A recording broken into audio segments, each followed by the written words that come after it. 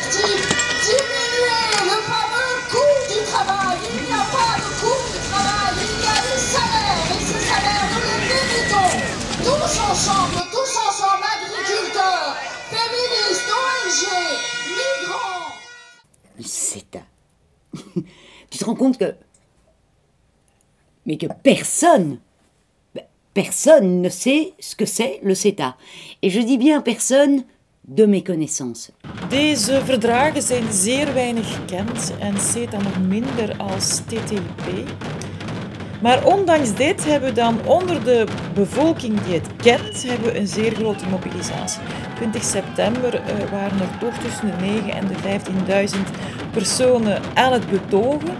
In Duitsland meer dan 300.000 en enkel en alleen in Berlijn vorig jaar 250.000 personen op straat. Et en octobre 2015, les 3 263 920 signatures contre le TTIP et le CETA ont été remises à la Commission européenne dans le plus grand silence médiatique. Maar hoe is dit verhaal nu eigenlijk precies begonnen? Wel, ik was in het federaal parlement en ik hoorde Sur chacun des points, il y a une diabolisation qui a été faite euh, à la fois de- des négociations, Dit heeft mijn nieuwsgierigheid zeer sterk opgewekt en ik ben toen als een detectieve op zoek gegaan naar wat staat er nu eigenlijk echt in dat verdrag, want En als je dan ziet, de informatie van de ene kant, die helemaal tegenstrijdig is aan dat van de andere kant, maakt ons ongerust. Nous allons parler du TTIP CETA Et TISA Est-ce que quelqu'un a une idée de quoi il s'agit Des champignons. Non, pas des champignons, pas d'autres. Pas des fromages Des clubs de foot. Non plus. CETA, het handelsverdrag dat eh, de Europese Unie, de Europese Commissie aan het onderhandelen is met Canada, en TTIP, het handelsverdrag dat de Europese Commissie onderhandelt met de Verenigde Staten. La question qui se pose, c'est pourquoi est-ce que l'Europe négocie des accords de libre-échange avec d'autres pays dans le monde? Et là, il y a deux versions de l'histoire. Il y a la version officielle, qui est défendue par euh, ben, à la fois les négociateurs européens, par la Commission européenne, mais aussi par la plupart des gouvernements euh, nationaux européens. Si on négocie aujourd'hui des accords de libre-échange, c'est dans le but à la fois de relancer la croissance économique et de relancer l'emploi. Et leur recette magique, c'est la suivante, c'est de dire, ben voilà, si demain on aide des entreprises européennes à exporter davantage grâce à des traités de libre-échange vers les États-Unis, le Canada et toute une série d'autres pays, eh vous allez voir que les exportations européennes vont servir de locomotive pour tirer à la hausse à la fois le profit des entreprises, mais aussi la création d'emplois et la confiance des investisseurs. Malheureusement, dès qu'on gratte un petit peu les logiques qui sont réellement derrière les accords de libre-échange, on se rend compte que leur croisière fantastique, eh bien, ça s'apparente vachement à monter sur un gros navire qui ressemble étrangement au Titanic. Wat is hier aan de hand? Ja, we zijn al ruim twee jaar aan het vechten tegen deze handelsakkoorden.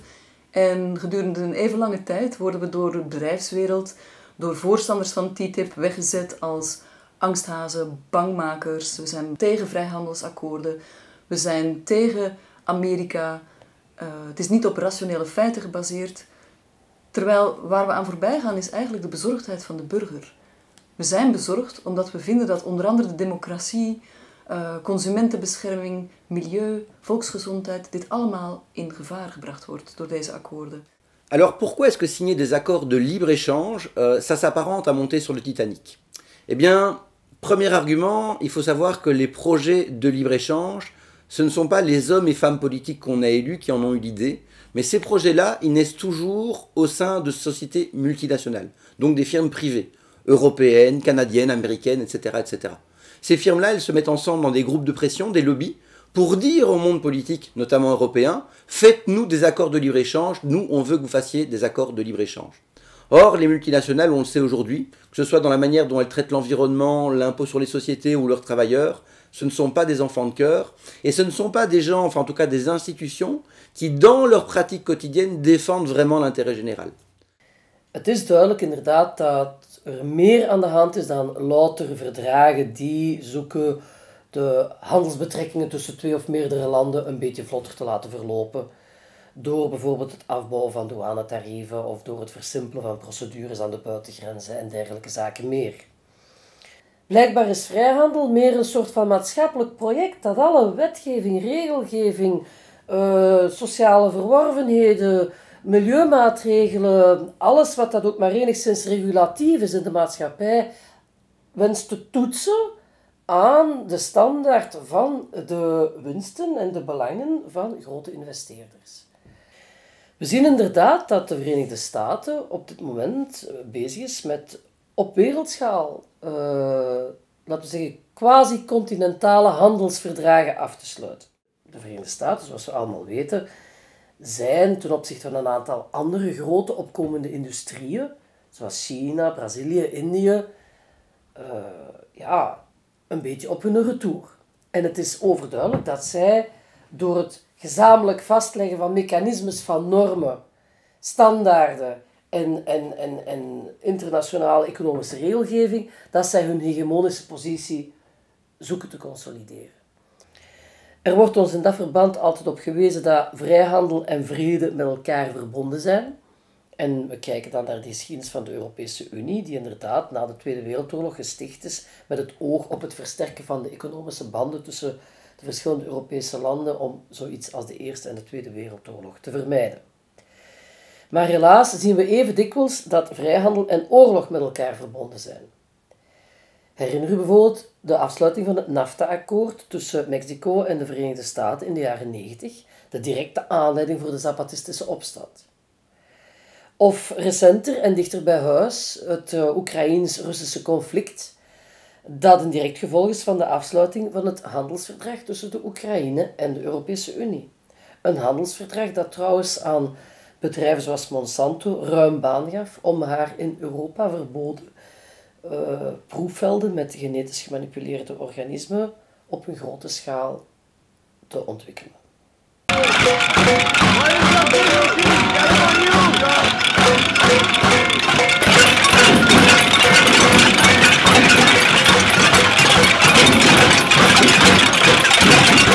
Euh, je, je, ne peux pas me faire à l'idée que les négociateurs européens euh, qui sont euh, formés, mandatés, payés pour euh, défendre les intérêts européens, je ne peux pas me faire à l'idée qu'ils négocient contre leur camp. Le projet de libre-échange entre l'Europe et le Canada, il a été inventé par des multinationales européennes et canadiennes, notamment des multinationales regroupées euh, dans un lobby qui s'appelle le Forum pour le commerce Europe-Canada. C'est justement un lobby qui a été créé par des sociétés multinationales euh, canadiennes et européennes. On y retrouve aujourd'hui des sociétés comme Alstom, euh, GlaxoSmithKline, Mercedes, Siemens, donc on y retrouve des sociétés qui sont actives dans plein de secteurs très très différents, mais qui ont des intérêts stratégiques communs. Pourquoi est-ce que ces sociétés multinationales se mettent ensemble?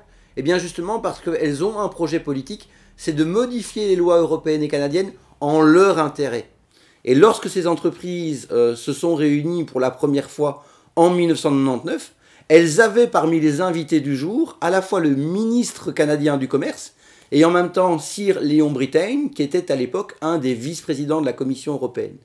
Je vais le dire autrement, quand des chefs d'entreprise multinationales canadiennes et européennes décident de se réunir ensemble pour défendre des intérêts qui sont leurs intérêts politiques, stratégiques et commerciaux, eh bien le monde politique s'assemble avec eux et leur dit bah, écoutez, on est prêt à écouter ce que vous avez à raconter.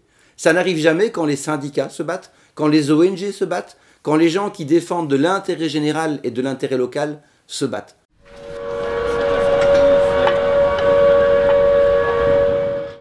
Les négociations qui sont faites par la Commission, la base, c'est le contrat de Lisbonne qui explique la façon comment la Commission peut, sans contrôle du Parlement, faire des négociations euh, sans transparence et les citoyens ne savent rien de tout ce qui se passe là-bas. Pour moi, c'était le, début de, la fin de la démocratie en Europe. Het door dergelijke,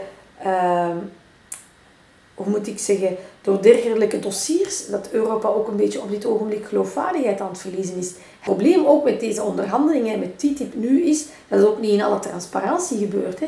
Het zijn de meest transparante onderhandelingen ooit. Ja, ik mag als politieker bepaalde documenten in een donkere kamer gaan inkijken, zonder, uh, zonder pen, zonder papier, zonder telefoon, zonder ander digitaal uh, ondersteuning. En ik krijg daar een potlood en een papier en ik mag beginnen schrijven. En dat zijn duizenden pagina's. En ja, en ik, mag daar, ik moet dan ook eerst een clausule ondertekenen als politieker dat ik daar met niemand over ga hebben. Je ziet wel dat de Europese Commissie echt moeite heeft gedaan om uh, alle belanghebbenden tegemoet te komen, uh, waarbij er een evenwicht is geweest tussen, al, dus tussen alle belangen en alle bezorgdheden van alle verschillende organisaties. Mais la difficulté, évidemment, c'est que dans le cas de Madame Malmström, ce n'est qu'un discours. Mm. Et sa stratégie commerciale Trade for All, euh, vous pouvez la lire, elle fait une trentaine de pages, et de nouveau, au niveau du déclaratif, c'est magnifique. Dans toutes les langues Absolument. J'aurais pu l'écrire, franchement, sur les déclarations. Le problème, c'est qu'en dessous de chaque déclaration, il y a un petit encadré sur qu'est-ce qu'on va faire vraiment. Et qu'est-ce qu'on va faire vraiment? C'est des promesses de petits progrès en termes de transparence. Enfin, on va publier certains documents pendant les négociations. On va arrêter d'être 100% opaque. On va devenir 90% opaque et tout ira bien. Waarom blijven zoveel Vlaamse politici nog aan die akkoorden vasthouden als die inderdaad zo onaanvaardbaar zijn? Um, ik denk dat onze Vlaamse politici veel te weinig geïnformeerd zijn. Um, dat ze te weinig de moeite doen om naar de reading room op buitenlandse zaken te gaan en die teksten te lezen. Um, en dat ze ja, misschien te veel vertrouwen hebben in de Europese Commissie ook. De onderhandelingen zijn afgesloten. ja, ik vertrouw erin dat die onderhandelaars dat uh, goed hebben gedaan. Um, om dat nu helemaal in vraag te stellen is voor mij wel, zou wel een grote brug zijn. C'est des gens qui considèrent que l'idéologie de marché est inéluctable. Moi, je suis pas d'accord avec ça. Je suis pas un communiste du tout, mais je ne suis pas pour le tout au marché. Quoi. Oser dire à un commissaire, le remettre à sa place, dire vous n'avez pas le mandat, je ne considère pas que vous me représentez, est-ce que vous défendez n'est pas un bon modèle On est grossier, mais on est en politique, on n'est pas là pour se dire que des gentillesses, quoi. Waar ik een bloedhekel aan heb, dat is aan bangmakerij en voorspellingen die eigenlijk heel sterk gebaseerd zijn op een uh, gevoel van angst dat bij de mensen leeft en dat extra aangewakkerd wordt. En dat vind ik wel heel jammer. Dus ik zeg dat ik geloof en vertrouwen heb in die commissie, maar dat we alert moeten kijken naar de uitvoering van die akkoorden. Dus mijn vraag is effectief, vertrouwen ze hun eigen? Ja? Vertrouwen ze hun eigen rapporten die, die beweren dat er geen, uh, geen neerwaartse spiraal gaat zijn in, uh, in de standaarden en zo. Ik denk dat als je de, denk de politieker die eerlijk is, weet dat, hij, dat er heel veel aan het gebeuren gaat zijn, uh, waar dat er heel weinig grip op is. Beaucoup de députés continuent à réagir euh, selon l'adage que ce qui est bon pour mes multinationales est bon pour mon pays, et si c'est bon pour mon pays, tout le monde en profitera. C'est un petit peu, pour simplifier très fort, rendez les riches plus riches parce qu'à la fin, tout le monde en profite. En fait, la réalité, c'est pas celle-là. Mais ils ne sont pas intéressés de voir la réalité, ils sont plutôt intéressés de rendre service au big business. Il faut savoir qu'une série de députés sont eux-mêmes dans des conseils d'administration de multinationales, euh, et par ailleurs que souvent des décideurs politiques peuvent se dire bon ben si je rends service au big business, ben, peut-être qu'un jour le big business me rendra service si par exemple je ne suis pas réélu. On vient d'en avoir un cas absolument euh, euh, scandaleux avec le fait que José Manuel Barroso, ancien président de la commission, et je rappelle que c'est la commission qui a lancé les négociations à la fois sur le CETA et sur le TTIP, eh bien cet ancien président de la commission rejoint rien moins que Goldman Sachs la banque probablement la plus détestée au monde et qui a évidemment joué un rôle absolument crucial dans la crise financière que nous avons connue. Totaal tegen die verdragen uh, zijn. Je ziet dat trouwens in de landen waar er wat meer debat is geweest, rond uh, bijvoorbeeld in, uh, in Duitsland, daar heb je veel meer mobilisatie en publieke opinie zegt van no way, het is al moeilijk in, het, in de Europese Unie met die concurrentie van iedereen tegen iedereen. Als we nu nog gaan doorgaan met een, een transatlantische dynamiek, dan gaan we nog verder in die concurrentie. Dus ik denk dat de volkeren in Europa wel aanvoelen van dit is iets niet goed voor ons en dus hopen bepaalde uh, rechtse partijen van door het ondemocratisch te houden, door het geen debat te houden, dat men gewoon gaat kunnen doorgaan en uh, door onderhandelen. Maar ik denk dat dat niet zo wel gaat zijn. Mai et juin 2016. Le Parlement wallon et la COCOF votent contre le CETA et refusent de donner le mandat au Parlement fédéral. C'est vrai qu'aujourd'hui c'est un acte politique fort pour la Wallonie et qu'on est aujourd'hui un petit peu isolé en Europe, mais il faut toujours qu'il y en ait un premier, il faut toujours qu'il y en ait un qui lance le signal. Je suis sûr que ceci va donner de l'enthousiasme, va, donner, euh, va donner du carburant politique euh, à d'autres en Europe pour s'opposer à ce traité qui effectivement n'est dans l'intérêt de personne en Europe. Fin du vote, la proposition de résolution est approuvée par 44 voix positives contre 22 S'opposer au CETA tel qu'il a été rédigé aujourd'hui, c'est un sursaut. We hebben dat zwaar betreurd. Het is ook een kwestie van geloofwaardigheid. Alle deelstaten werden zwaar betrokken, constant betrokken, geïnformeerd, op de hoogte gebracht door het federaal sinds meer dan zeven jaren over het proces. Iedereen ging akkoord met het mandaat, iedereen ging akkoord met het eindresultaat. En uh, uh, wij, vinden, wij betreuren het feit dat men nu met nieuwe verzoeken komt, nieuwe concepten komt, die blijkbaar nooit aan bod gekomen zijn tijdens de onderhandeling, op het moment dat het eindresultaat moet nu getekend worden. Pourquoi est-ce que pendant six ans, on n'a jamais pris la peine d'interroger les parlements régionaux pour leur demander s'ils étaient euh, d'accord avec le fédéral ou s'ils avaient des amendements, des réserves, parce qu'il est tout à fait possible d'avoir des réserves, et comme je l'ai dit euh, lors de mes interventions, moi, il faut qu'on m'explique pourquoi est-ce que euh, l'Allemagne a réussi à faire passer plus de réserves, c'est-à-dire en clair retirer des compétences et des, domaines euh, euh, du traité, alors que la Belgique a finalement été très libérale. Quand les discussions sont lancées d'abord sur le TTIP avant le CETA, en effet, il y avait un peu l'idée euh, ce n'est pas si grave, etc. Et puis laissons faire le fédéral, et puis ne nous en mêlons pas, etc. Et c'est pour ça qu'on a d'abord déposé le texte au Parlement régional sur le TTP. Et là, ça a déjà été tout un combat pour arriver à ce que ce texte soit effectivement discuté.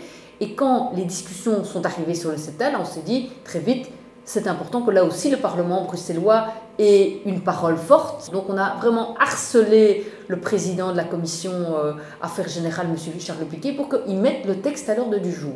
Mais clairement, il y avait une volonté qu'on ne discute pas euh, du sujet parce qu'au niveau du gouvernement bruxellois, il n'arrivait pas à se mettre d'accord.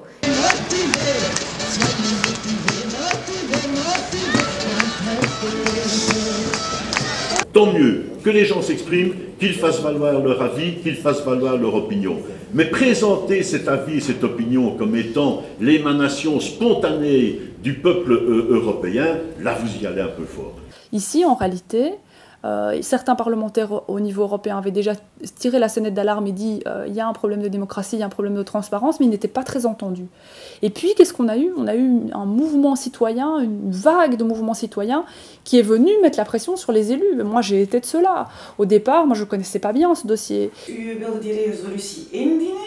En dus de andere leden van het Vlaams parlement wilden die niet op de agenda zetten. Ja, die vinden dat heel ambetant, omdat ik natuurlijk elke week wel met een initiatief kom in verband met TTIP of, of, CETA.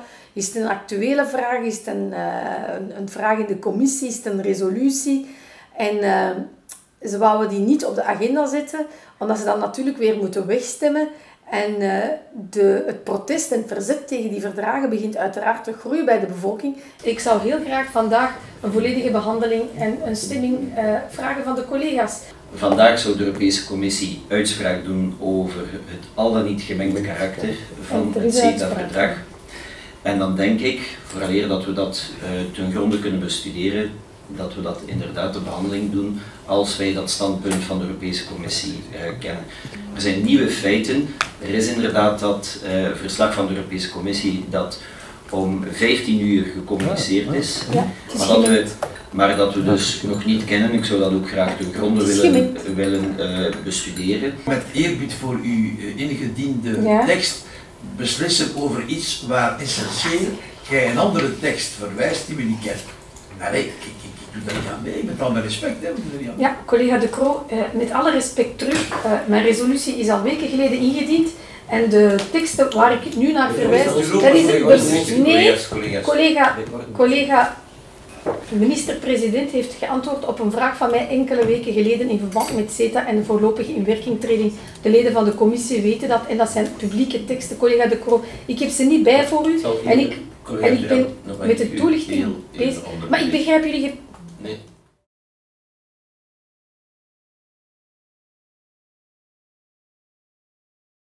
Personne n'a parlé de CETA. Alors, les syndicats, les, chrétiens qui ont, il y a un an, qui ont invité les politiciens pour parler du CETA. Alors, euh, j'étais là et avant, je lis quelques articles là-dessus, me préparais un peu.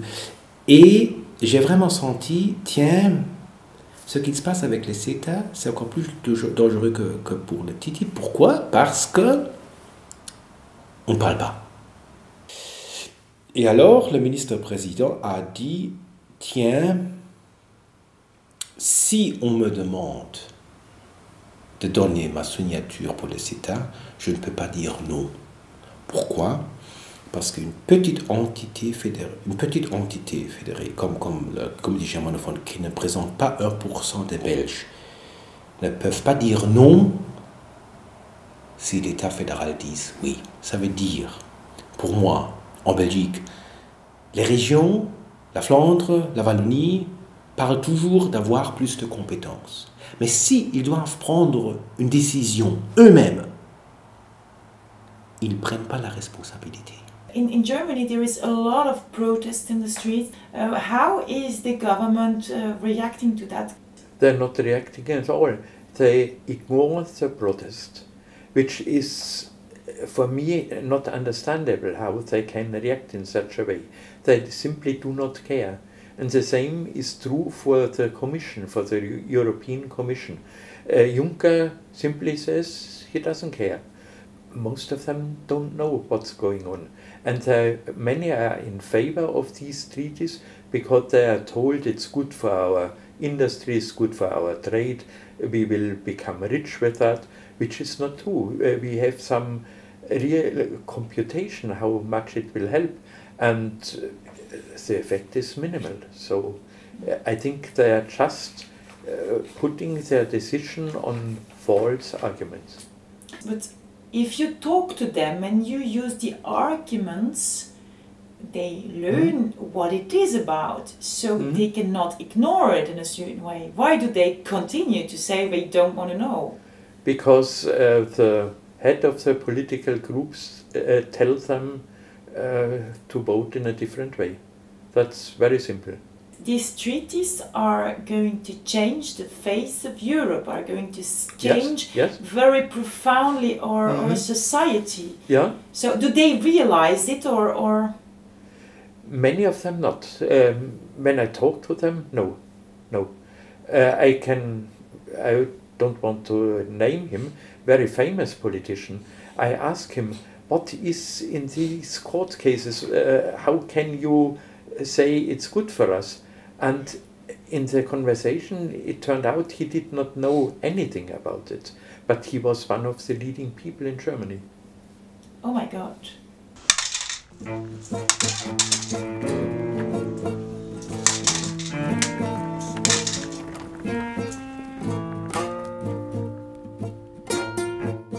Ici, ce dont il est question dans le traité avec le Canada, c'est de créer pour les sociétés multinationales des tribunaux euh, d'arbitrage qui sont réservés exclusivement aux multinationales. Ce sont toujours les multinationales qui peuvent traîner en justice les États quand ils ne sont pas d'accord avec des positions politiques qui sont prises, mais où l'inverse n'est jamais prêt. C'est-à-dire que quand un gouvernement va être victime de pratiques euh, d'évasion fiscale d'une société multinationale, ou quand des citoyens vont être victimes, par exemple, de pollution générée par des entreprises multinationales, il est hors de question d'autoriser et ces citoyens et ces gouvernements à traîner en justice les multinationales. Dat vind ik een valabel argument, ja. Ze moeten het in de twee richtingen kunnen gaan. Maar dat is niet het geval. Ja, dan is het niet goed. Men kent de nationalistische reflexen van sommige regimes, waar het de moeite niet loont naar de rechtbank te gaan. Gans Afrika dat ik relatief goed ken, heeft zich aangesloten bij een internationaal verdrag. We zijn hier om, wel niet in Afrika, we zijn hier in Europa, in Ja, Canada. ja, om arbitrage te bekomen en de motieven zijn ongeveer dezelfde. Je kunt geen rechtbank vinden tenzij jij een rechtbank opbouwt, en dat zal misschien een dag wereldwijd gebeuren, die op een deftige wijze met voldoende expertise, niet verwijzende naar andere experten, wat gewoonlijk veel de rechtbanken die we kennen doen. Dan sta ik veel liever voor een gespecialiseerde rechtbank. Wij vinden dat de juridische systemen in Canada voor het CETA en in de Verenigde Staten voor TTIP en in Europa voldoende matuur zijn, voldoende onafhankelijk, voldoende sterk, dat er geen apart arbitragesysteem nodig is. Nu, zonder deze arbitragesystemen, wordt er massaal geïnvesteerd. De, de grootste investeringen in de wereld gebeuren door de Verenigde Staten in Europa en omgekeerd. Dus het feit dat zoveel gebeurt, bewijst aan zich dat er voldoende juridische bescherming is. Au début de la négociation, non pas du CETA mais du TTIP, euh, à un moment la chancelière Merkel, grande promotrice de ce genre d'accord, avait été interpellée parce qu'il euh, y avait ces dispositions dans les projets de traité et elle a eu quelque part l'ingénuité de dire publiquement, bah, après tout, peut-être que ce n'est pas essentiel d'avoir ces dispositifs euh, dans, les, dans les traités.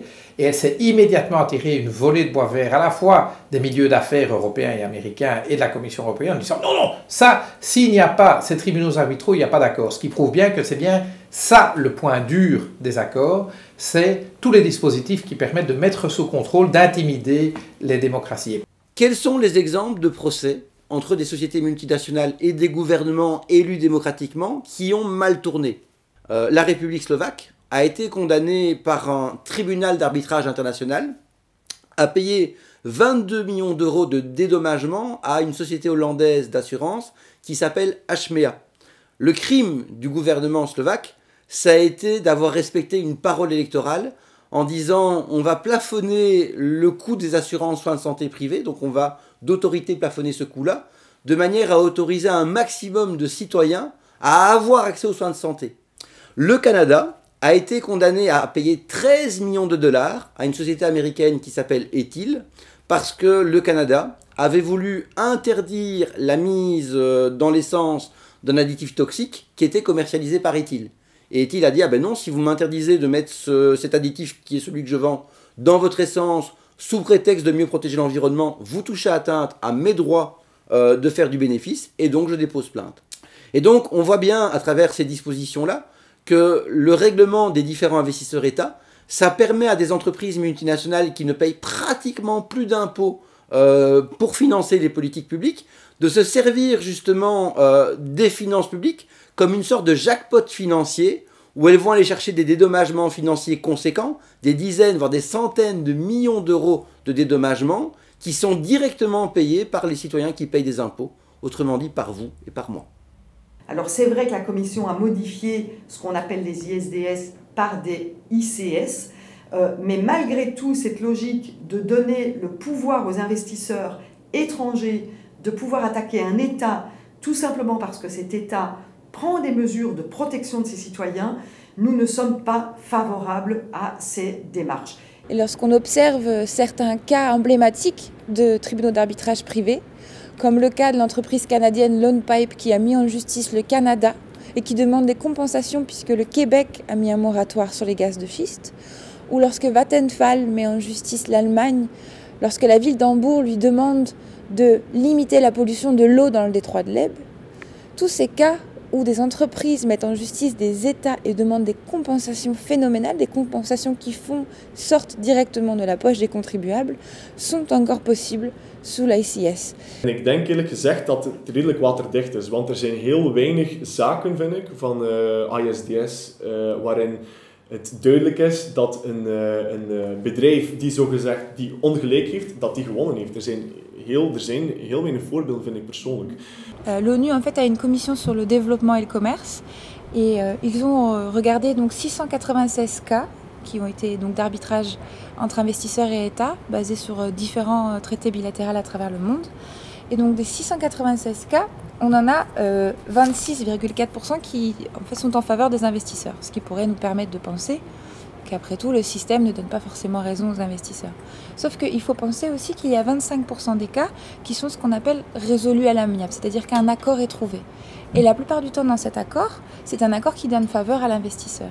Il y a énormément de procédures judiciaires investisseurs-État qui ont lieu sans même que l'on sache euh, le début de cette procédure ou ce qu'il en est ou même sa fin. Et en plus de ça, le pouvoir de ces tribunaux d'arbitrage, c'est le, pouvoir de dissuasion. C'est-à-dire qu'une grande, une grande multinationale peut aller voir un gouvernement, accompagné de ses avocats, et dire, écoutez, cette nouvelle loi qui protège l'environnement ou la santé, elle ne nous convient pas, elle remet en question nos bénéfices futurs et donc nous porterons plainte à Washington ou dans d'autres institutions privées. Ce qui en fait a un pouvoir de dissuasion assez incroyable. je voudrais rappeler quelques réalités. L'ICS, l'ISDS et demain l'ICS est une réalité. La Belgique a 60 accords internationaux comportant une clause ISDS. Ces clauses figurent dans plus de 3000 accords. En wat je heel vaak hoort is Um, maar waarom komen jullie nu klagen over ISDS, terwijl organisaties zoals die, die van Michel er al lang rond mobiliseert? Mm. Uh, maar waarom doen jullie dat nu, terwijl er al meer dan 3000 akkoorden bestaan? Bilaterale investeringsakkoorden die ISDS bevatten. Um, Europese overheden hebben er ongeveer 1500. Uh, en nu komt er één bij, waarvoor de Europese Commissie verantwoordelijk is, en plots zijn jullie wakker geschoten. Ça fait des années que le CNCD 11 et d'autres dénoncent ce type de traité et se bat activement contre ces traités, simplement parce que, sur le principe, on trouve que c'est juste inacceptable que des multinationales aient le droit à un super tribunal au-dessus de toute structure étatique euh, euh pour, euh, pour faire valoir leurs droits euh, à leur profit. Maar dat is natuurlijk een, een valse voorstelling van zaken. Hmm. Um, zoals Michel terecht zei, um, als CETA en TTIP in werking zou treden, dan uh, is de hele stok van investeringsstromen die beschermd wordt door ISDS wordt die plots verdrievoudigd. Nous pensons en effet qu'à côté des tribunaux classiques, il y a une nécessité, dans certains cas bien spécifiques, lorsqu'un investisseur s'estime lésé, de pouvoir faire appel à un regard indépendant, des juges indépendants. De arbiters die erin zitten, die krijgen een vaste vergoeding, die niet zozeer hoog is, maar die worden hoofdzakelijk vergoed per gepresteerde uur aan een bepaalde zaak. Dus voor hun inkomsten zijn die arbiters voor een groot deel afhankelijk van de aantal ingediende zaken en hoeveel tijd dat ze er kunnen aan besteden. Maar het zijn enkel de grote investeerders, de buitenlandse investeerders, die zaken kunnen indienen. Dus ik zie daar een belangenconflict. Ik ga voorzichtig zijn, hè, want ik, ik ken het niet in zo'n detail. Maar het, het, het idee dat een rechter een bonus krijgt, is bizar. moest Montesquieu nog leven, zou hij daar wel ongerust over zijn.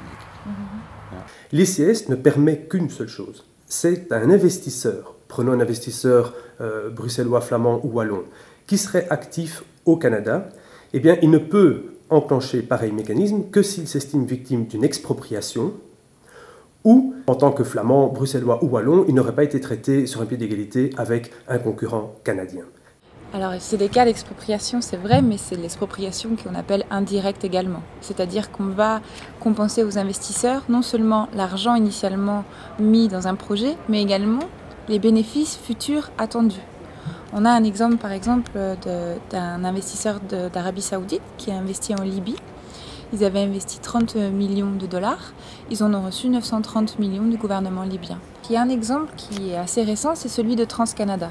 Il y a un oléoduc qui devait partir du Canada vers les États-Unis, que Obama a décidé lui-même d'interrompre.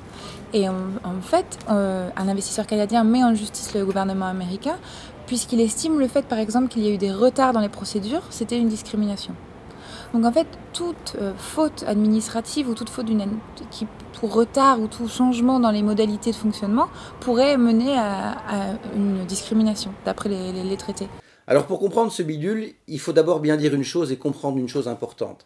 C'est qu'un marché, ça fonctionne toujours avec des règles du jeu, des lois, qui sont décidées par des institutions. Et donc quand on avait un marché belge, euh, ben, il y avait des institutions belges qui réglementaient le fonctionnement de ce marché belge. Quand on est passé à un marché européen, on a mis en place toute une série d'institutions européennes qui définissent les règles du jeu pour le marché unique européen. Si demain rentre en vigueur le traité de libre-échange entre l'Europe et le Canada, qui va justement créer une sorte de marché commun entre l'Europe et le Canada, eh bien on va mettre en place toute une série de nouvelles institutions politiques euh, qui ne seront pas européennes ou canadiennes, mais qui seront transatlantiques, c'est-à-dire co-dirigées par l'Europe et le Canada. L'objectif de cette coopération réglementaire entre l'Europe et le Canada, ce sera d'en finir avec ce qu'on appelle les divergences législatives. La coopération réglementaire ne portera en aucun cas sur le contenu des législations. Ces législations sont élaborées au Canada ou en Europe via les procédures démocratiques en place. Simplement, la coopération réglementaire, ce sont des fonctionnaires, des régulateurs qui s'asseyent à la même table et qui s'interrogent si, à normes constantes, à législation constante, s'il n'y a pas moyen de simplifier la manière dont elles sont mises en œuvre. Est-ce que le même produit n'est pas testé deux fois une fois en Europe, une fois au Canada? Mais il n'y aura pas de solution euh, unique euh, en la matière. Il ne se passera peut-être rien pour les législations des normes euh, antérieures, ou peut-être que les régulateurs vont se dire qu'ils peuvent faire de la reconnaissance mutuelle pour un secteur, mais peut-être pas pour un autre, voire peut-être harmoniser les choses.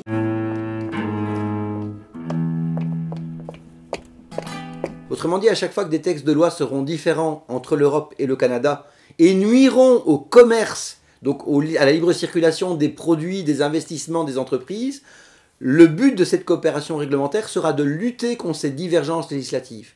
Laws which are formulated only by the European Commission with us, uh, they can be stopped by some commission uh, between Europe and uh, Canada, where people of both sides are sitting in, but also people of industry. That means newly proposed law can be stopped before it goes into the parliament. That means it's not at all democratic. Et c'est ça qui est particulièrement grave, c'est que finalement, la démocratie est vue comme quelque chose de moins important sur le plan du droit que ce que n'est l'économie. Die regelgevende samenwerking wordt dan ook nog een keer verplicht dat en dat klinkt allemaal mooi, dat de stakeholders moeten geraadpleegd worden. Dus alle stakeholders. Maar we weten in praktijk dat dat betekent dat dat open staat voor de grote lobbymachines.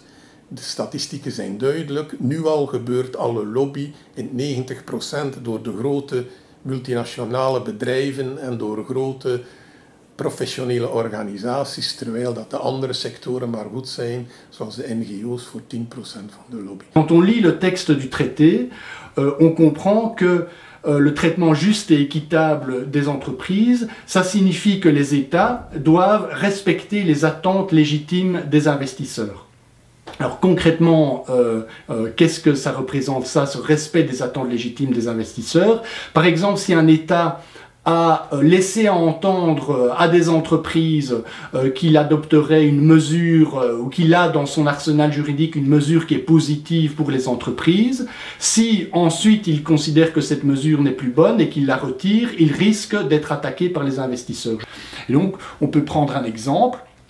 la Belgique est connue dans le monde entier, réputée dans le monde entier pour son système de la déduction des intérêts notionnels, donc des cadeaux fiscaux énormes euh, qui sont accordés aux entreprises. Si demain la Belgique retirait ce système parce qu'elle estime que ce système, coûte trop cher, euh, on pourrait voir des entreprises, des multinationales déposer plainte devant les tribunaux parce que la Belgique ne respectent pas les attentes légitimes des entreprises. Les entreprises euh, pourraient dire, voilà, quand je suis venu investir en Belgique, je l'ai fait parce qu'il y avait le système de la déduction des intérêts notionnels. À partir du moment où ce système n'existe plus, euh, j'ai été trompé dans mes attentes légitimes et donc je vais demander des réparations devant un tribunal d'arbitrage ou même devant une juridiction ordinaire, je vais demander l'annulation de la décision de supprimer euh, le système de la déduction des intérêts notionnels. Donc on, pourrait aller jusque-là. Et donc, ça veut dire que ce serait un changement de philosophie, un changement d'équilibre euh, à l'intérieur de nos institutions qui serait, euh, qui serait majeur, puisque on pourrait voir des juges dire euh, aux parlementaires qui ont pris une décision ou qui ont voté une loi, euh, voilà, vous n'avez pas le droit euh, d'adopter cette, cette, loi, nous nous estimons que vous n'avez pas respecté les attentes légitimes des entreprises, et donc nous vous demandons d'annuler votre loi. De kennen we de plannen van die kluivers. En voor Azië, en voor Europa, vrij handel overal. Dus laat ons doen zoals we doen. Op de wc, spoel door die TTIP.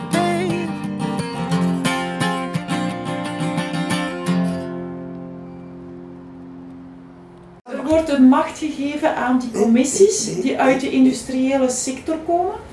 En eh, die eigenlijk de, diezelfde industriële sector die al jaren via ISDS-processen altijd maar pleit voor de laagste normen en niet voor de hoogste Ja, maar dat moet je ons verweren. Hè. Je moet geen lage normen aanvaarden. Hè. Eh, ja, maar er is wel de stok achter de deur, dat is een proces via ICS. Nee, dat proces is nu door een objectieve rechtbank, ik vermoed dat. Ja. Eh, die, Allee, die, die ja, rechters worden betaald, Ja, ja. Worden, krijgen een bonus per, eh per ding, is per zaak dat ze doen. Allee, Dat is, die, wij- die rechters wij- zijn niet objectief en het zijn wij- nog altijd rechters Ja, uit maar diezelfde je bedoelt dat wereld. de zaken vooruit gaan. Hè. Hier wordt men betaald per maand. Hè. En de zaken blijven hangen. Hè. Mais d- d'abord, les, les mécanismes d'arbitrage euh, tels qu'observés dans la pratique sont très longs. Euh, ils n'ont pas résolu cette question. Ils sont aussi très longs, très chers.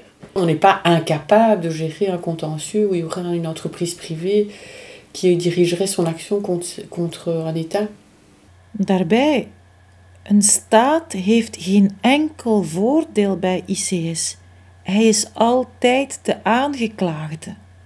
Praat meneer De Croo hier als politicus of als investeerder? Le CETA préserve les normes. Le CETA préserve spécifiquement les normes de protection du consommateur qui existent chez nous. Hein.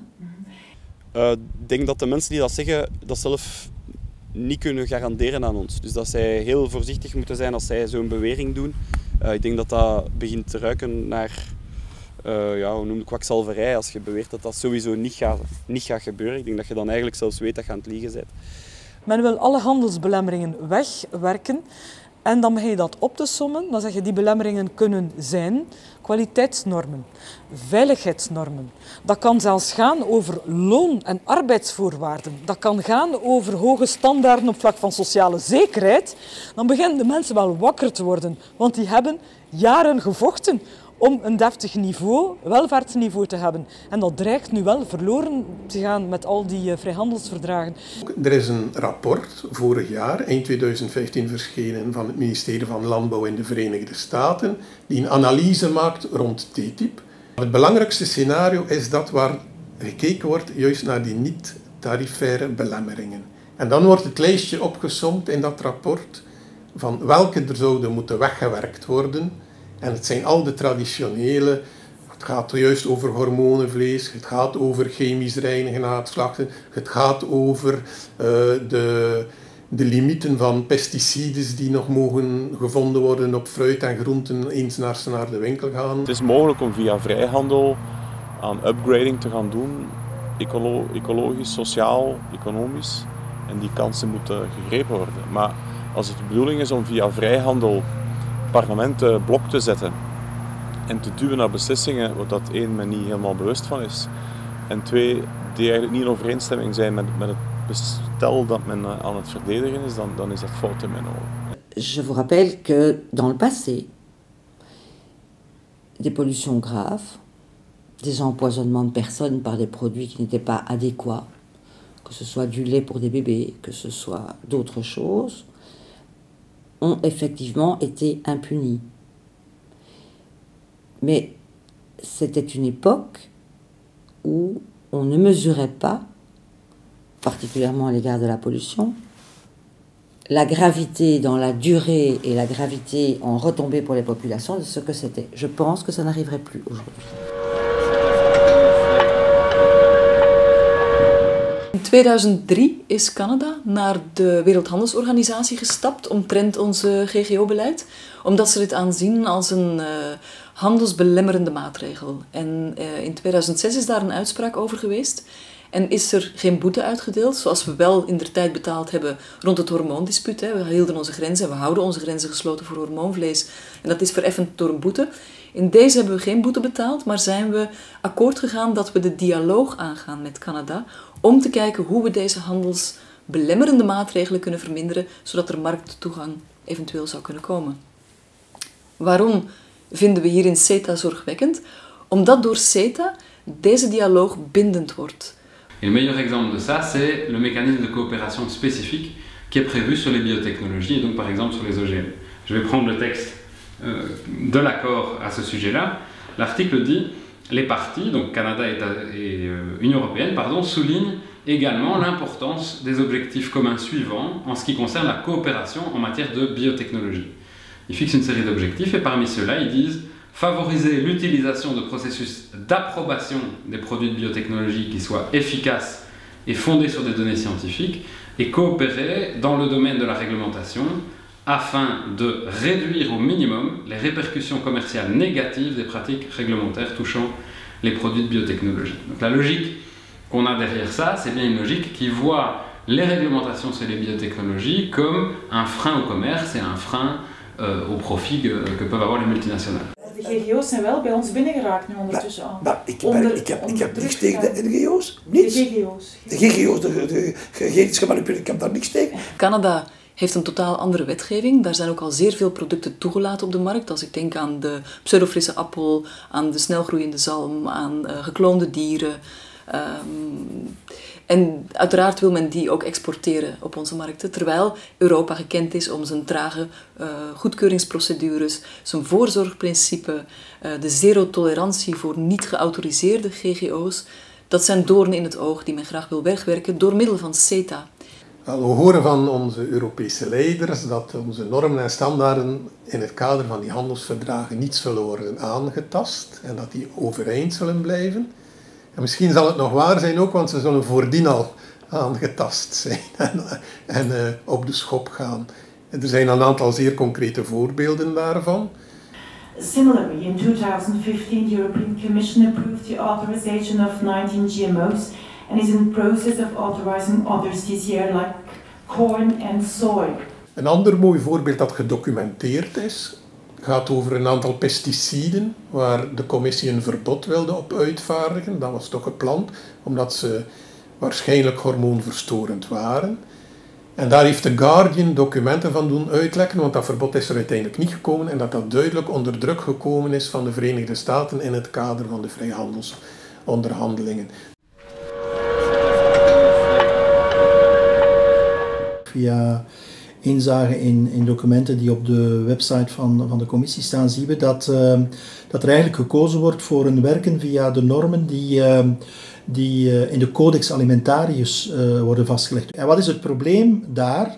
Eerst en vooral dat de, de, de, de normen die daar gesteld worden op VN-niveau, op Codex Alimentarius niveau, dat die helemaal anders liggen en veel minder streng dan onze bestaande wetgeving die wij met veel bloed, met veel zweet, met veel tranen hebben gemaakt uh, in de onderhandelingen tussen het Europees Parlement, enerzijds en de Raad van Ministers uh, van Milieu, anderzijds. Om u maar een voorbeeld uh, te noemen, de normen in zaken, ik heb het hier voor mij liggen, in zaken haver, binnen de EU mag daar een maximum niveau zijn van 20 milligram, per kilogram. Bij de Codex Alimentarius is dat 100 milligram per kilogram. Voor herst is dat nog veel erger. Daar is op EU-niveau de bestaande wetgeving 20 milligram per kilogram. En voor de Codex Alimentarius is dat 400 milligram per kilogram. The Codex Alimentarius is less severe for the pesticide residues than our actual European norms. So we lower. I, I'm not, I, I need to check this up. I'm not sure that, that I know what, what you're talking about in this specific. Uh, is there, do we have any of our uh, experts who can come to this? Let me just finish on, on, on the ISS. Het tweede deel van het verhaal is Um, is, is, producten uh, erkennen dat ze mogen ingevoerd worden op basis van equivalentie, is natuurlijk ook een gevaarlijk precedent, omdat uh, je daar in een discussie zit tussen twee systemen. En, en die systemen die, die, die botsen met elkaar. En als je dus een product erkent die uh, goedgekeurd is in, in equivalentie, onder het andere systeem ben je toch niet altijd zeker dat het zorgt voor dezelfde kwaliteit of dezelfde bescherming tegen voedselveiligheid dan in het eigen systeem.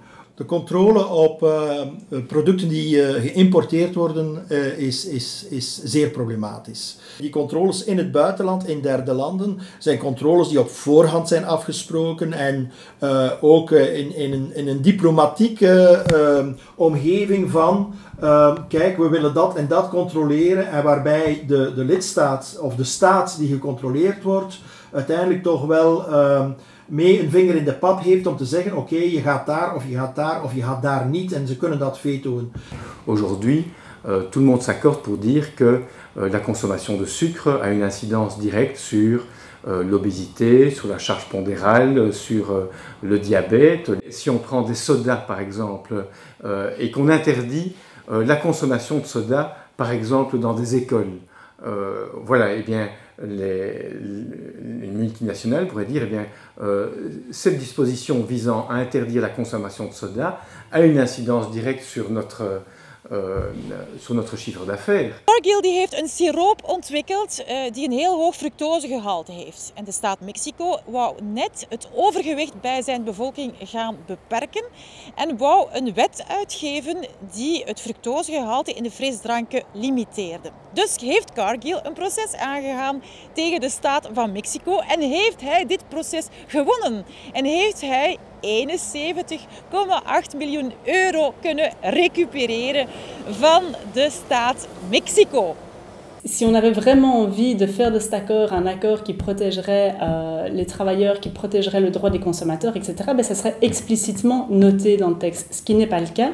Et je prendre l'exemple particulier d'une revendication euh, qui avait été portée par le monde syndical pour pouvoir introduire telle, telle quelle la possibilité d'un recours juridique en cas de violation des conventions de l'OIT, donc les conventions de l'Organisation internationale du travail.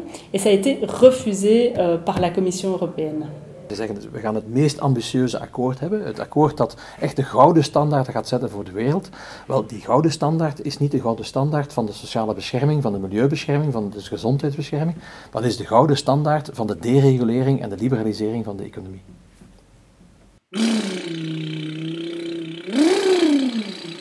Si des, des, gouvernements prennent des mesures euh, contre le réchauffement climatique, ils peuvent se voir euh, mettre des bâtons dans les roues euh, par euh, les multinationales. Qu'est-ce que vous en pensez?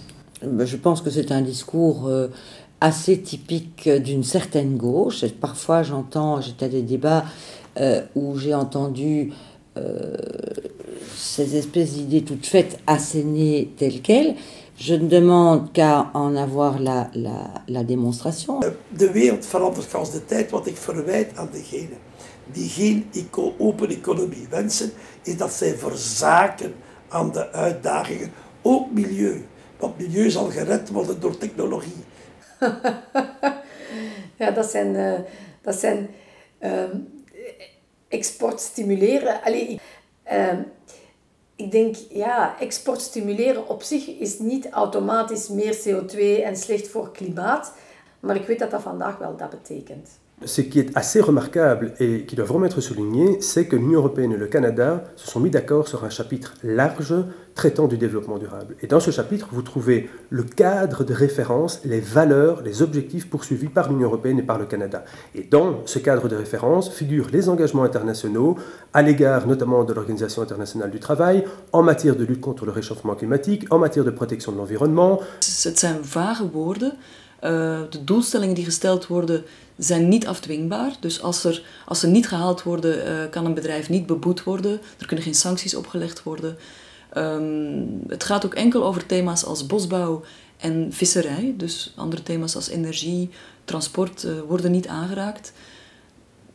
Dit geeft toch wel wat vragen bij ons. Um, het zijn thema's die belangrijk zijn. Zeker ook als je kijkt naar de laatste COP-doelstellingen. Daar waren we zeer blij mee, dachten we. Het waren ambitieuze klimaatmaatregelen maar die ook niet afdwingbaar zijn.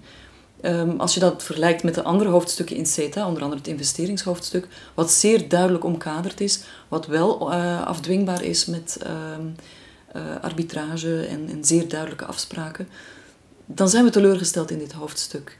Je hebt een nieuwe premier, Justin Trudeau, die heel zwaar de ecologische kaart trekt. dus Keystone XL krijgt het hard te verduren. Je hebt ook uh, de Alberta tar sand oils. Die, dat, Justin Trudeau is heel onpopulair in die regio, net omdat hij dat wil afbouwen. Toegepast op Europa. Uh, die tar olie uh, staat volledig los van het handelsverdrag met CETA. Dat gaat ook nooit, nooit geëxporteerd worden naar Europa, omdat dat veel te duur is. Dus dat is eigenlijk een kwestie die die echt weinig betrekking heeft op het handelsverdrag met Europa. Dus het ambitieuze klimaatakkoord dat eh, bij de COP21 afgesproken is om dus echt de klimaatopwarming onder de 2 graden Celsius te houden, die was ook in lijn met wat de Europese Commissie al eerder in 2009 afgesproken had rond de Fuel Quality Directive. Dat is eigenlijk hetzelfde als de brandstof, de transportbrandstofrichtlijn, om um, die uitstoot van dus onze transportbrandstoffen met 6% te verminderen tussen 2010 en 2020 om dus ook onder die 2 graden Celsius opwarming te blijven. Um, we weten allemaal dat Canada een van de zwaarste producenten is van die uh, onconventionele brandstoffen, waaronder teerzandolie, wat een 23% hogere CO2-uitstoot heeft um, dan de conventionele brandstoffen. Dus het is heel belangrijk dat uh, die directive er komt. Maar Canada is zeer gegeerd uh, om de Europese markten te veroveren met teerzandolie, omdat de export naar Amerika teruggevallen is sinds zij uh, terugvallen op schaliegasontginningen. en als wij daar een Fuel Quality Directive met een hogere quotering voor teerzandolie um, implementeren, dan is er een probleem. En zij hebben dat ook al direct aangekaart als een technische handelsbarrière. En ze hebben gedreigd, dus uh, de minister Joe Oliver van Natural Resources, dus van natuurlijke hulpbronnen, die um, heeft gedreigd om naar het WTO, dus de Wereldhandelsorganisatie, te stappen en het neer te leggen als een technische handelsbarrière. Nu blijkt ook uit onderzoek van de Europese Commissie dat dat eigenlijk niet echt een zaak geweest zou zijn, want Europa heeft hier echt wel recht van spreken, omdat hem zijn klimaatambities wil behalen. Maar onder druk van CETA-onderhandelingen kunnen wij toch echt wel zien dat die directive, die Fuel Quality Directive, gesneuveld is. Want drie weken voor de ondertekening van CETA is um, het een zeer verzwakte richtlijn geworden. In plaats van dus extra quotering te geven voor de onconventionele brandstoffen, hebben ze nu allemaal een gelijke quotering gegeven, gekregen. En als je bekijkt dat dit voor teerzand alleen al uh, een verschil geeft van CO2-uitstoot, dus mocht het die quotering gehad hebben, dan zou het 19 miljoen ton CO2-uitstoot bespaard hebben. Um, dat is een jammere zaak, uiteraard. En um, het is niet alleen de milieuorganisaties die hier een uh, bedenking bij maken, maar een klimaatexpert van de NASA bijvoorbeeld, uh, James Hansen, die noemt het ook van, kijk, teerzandolie is eigenlijk um, game over voor de climate. U spreekt van de mensheid, mevrouw. De dinosaurussen zijn verdwenen na 83 miljoen jaar. De mensheid bestaat nu ongeveer een miljoen jaar ongeveer die gaat verdwijnen een dag, ik weet niet wanneer, binnen 5 miljoen, binnen 6 miljoen. De, maar, de klimaatverstoringen zijn nu wel heel alarmerend. Ja, we hebben al koude periodes gehad, warme periodes gehad, het ozongat schijnt nu te, te krimpen, zegt men mij. Alors, ce qui est remarquable, c'est que les alertes euh, lancées par les scientifiques euh, à, propos du trou dans la couche d'ozone dans les années 1980 ont conduit à ce que des accords internationaux euh, à Vienne, puis à Montréal, et puis euh, euh, à d'autres occasions, soient euh, pris pour limiter les émissions euh, de CFC, notamment les gaz polluants qui attaquaient la couche d'ozone. Euh, ces accords ont porté leurs fruits, puisqu'on commence à voir au, moins une stabilisation du problème. Le, le trou dans la couche d'ozone ne s'aggrave plus. C'est pas pour ça qu'il a disparu. Als we naar de reserves van alle fossiele brandstoffen, steenkool, gas en olie gaan kijken, de bewezen voorraden die er zijn, die zijn veel hoger dan wat ons uh, CO2-budget is. Dus we mogen eigenlijk maar 20% van wat dat we in een uh, business as usual scenario in die periode zouden opbranden, mogen we maar opbranden. Dus 80% van wat dat we hebben, moet eigenlijk onder de grond blijven steken. Euh, et ce qu'on annonce pour euh, la fin de ce siècle, si on reste sur les trajectoires actuelles d'émissions, hein, si on, reste dans le mode business as usual, c'est potentiellement jusqu'à 5 ou 6 degrés au-dessus du niveau euh, pré-industrielle. Alors on pourrait se dire, euh, bon, c'est quelques degrés, c'est pas grand-chose. En fait, c'est énorme. C'est autant que ce qui sépare le pic de la dernière glaciation, il y a 20 000 ans, et le climat qui a régné à peu près de manière stable au cours des 10 000 dernières années. Bestaat uit grote bedrijven die op de beurs genoteerd zijn. Nu, die, de aandelen van die bedrijven die zijn, die hebben ook een waardering op de beurs. In de waardering van de aandeel wordt er tot nu toe nog van uitgegaan dat uh, business as usual zal blijven doorduren. Dat dus eigenlijk alle reserves aan fossiele brandstoffen die die bedrijven in hun bezit hebben, dat ze die zoals nu vrijelijk zullen kunnen gebruiken. Er is een relatief grote kans en daarom uh, noemen ze heel dit fenomeen, wat ik tot nu toe uitgelegd heb, ook de CO2-zeepbel, dat dat heel wat financiële instabiliteit zal veroorzaken. Als die zeepbel zich effectief manifesteert, en die kans is zeer groot, wie moet dan die kost betalen? De fossiele industrie lobbyt daarom zeer sterk voor deze verdragen, omdat ze via ICS onze staten zullen kunnen aanklagen en dus compensaties zullen kunnen vragen wanneer onze regeringen maatregelen nemen om de klimaatopwarming tegen te gaan, omdat deze maatregelen hun te verwachte winsten zullen beperken. ExxonMobil is een van de grootste oliebedrijven ter wereld. En uh, recent is uitgekomen dat in de jaren 70 hun, dat hun eigen onderzoeksdepartement dat zij al uh, op de hoogte waren van de gevolgen van hun activiteiten op het klimaat. Zij zagen dat uh, de olieindustrie klimaatopwarming veroorzaakte en dat die klimaatopwarming dat die schadelijke gevolgen had voor uh, de mens op de planeet. Maar ze hebben die kennis achtergehouden. Maar wat ze wel hebben gedaan in tussentijd, is dat ze de klimaatskeptici, vooral in de VS, dat ze die geld toegestoken hebben.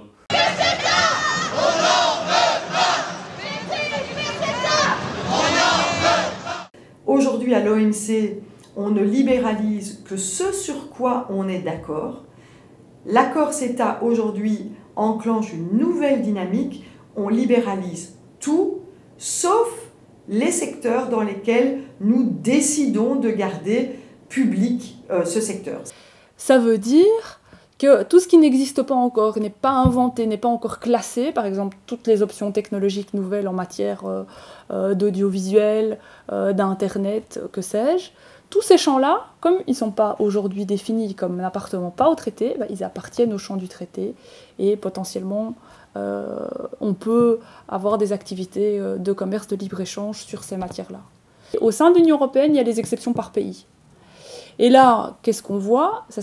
C'est complètement fou, ça jette vraiment une très très grande suspicion euh, sur le reste des textes, c'est que les exceptions en fonction des pays sont très différentes. Alors on se dit, tiens, c'est bizarre, pourquoi les exceptions en fonction des pays sont si différentes? Je donne un exemple.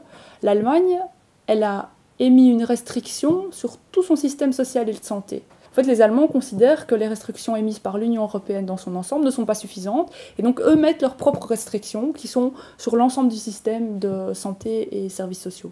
Eh bien, les Belges n'ont pas fait ça. Les Belges ont trois petites exceptions.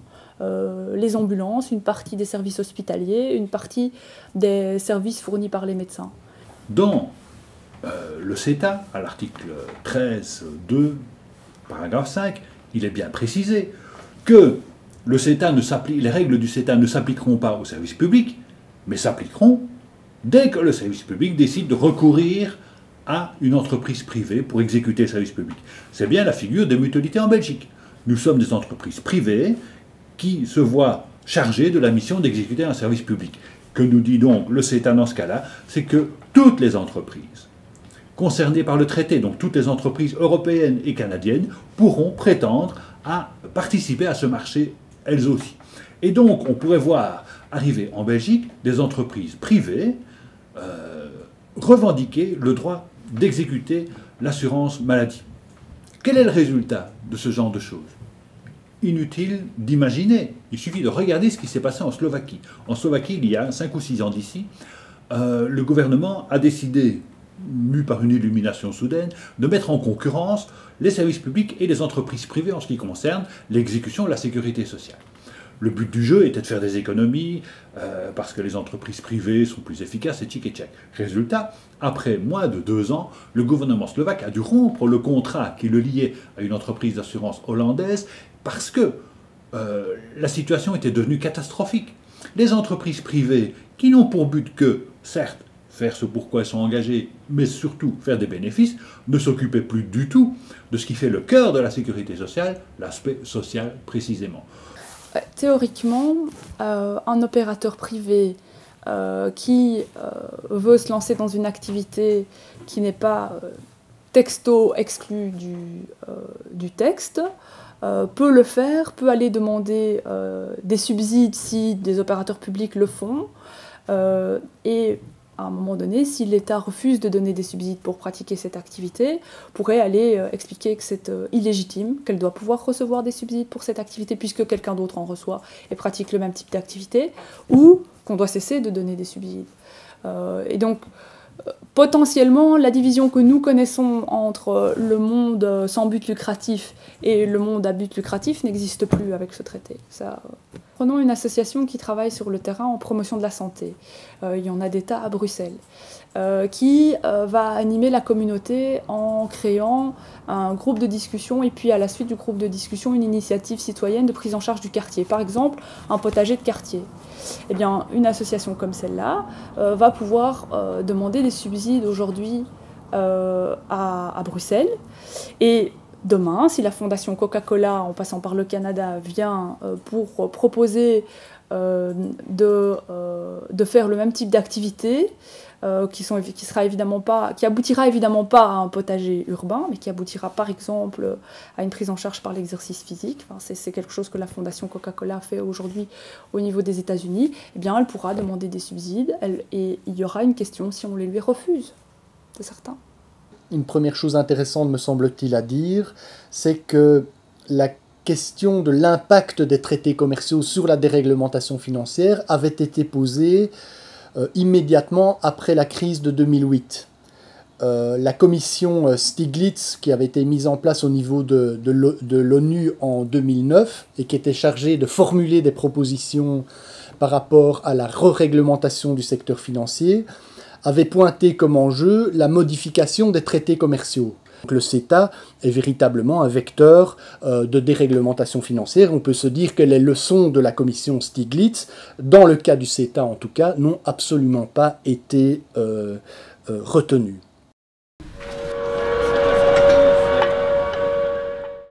ICS-mechanisme is ook van toepassing op de. Dat wil zeggen dat banken onze staten zullen kunnen aangaan als onze staten maatregelen nemen om de bankensector te gaan regulariseren. Zo, dat is niet zo ver gezocht. Er zijn een aantal voorbeelden dat zo'n zaken effectief gebeuren bij investeringsverdragen.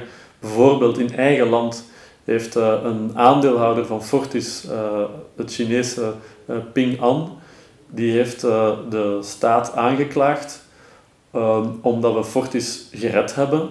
En hij had het gevoel dat zijn belang als aandeelhouder daardoor uh, genegeerd werd in Tsjechië. En daarbij zien we ook de creativiteit die aan de dag gelegd, kan worden bij zulke uh, rechtszaken. is er een Tsjechische bank die in de problemen kwam, die failliet is gegaan, en waarbij dat een aandeelhouder, een pensioenfonds, net omgekeerd geargumenteerd heeft en uh, een zaak aangespannen heeft omdat de overheid niet is opgetreden uh, om, om die bank te redden. Ça montre que l'on peut utiliser le tribunal d'arbitrage pour tout et son contraire. Dans un cas, Ping An attaquait le gouvernement belge parce qu'il avait sauvé Fortis, et lui avait fait perdre euh, de l'argent. Et dans l'autre cas, euh, l'investisseur néerlandais euh, a attaqué l'État tchèque parce qu'il n'avait pas sauvé la banque.